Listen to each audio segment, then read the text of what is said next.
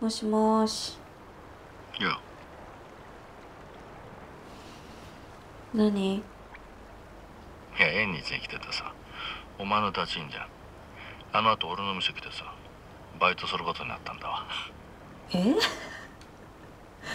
それどういう流れ？なんかショーパブの合間でいいんだったら働かせてくれねえかって。バイト代もいらないって言うしさ。もともと魚が好きだったんだってなマジねえからそんな話聞いたことないわ。えってかお前今どこにいんの？これからバジルと飲もうって話になってんだけど。3人で飲まない？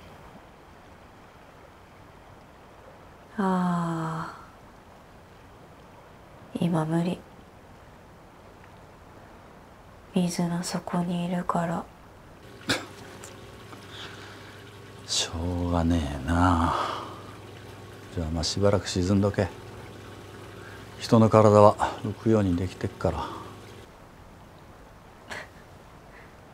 それって死んだら浮かぶって話？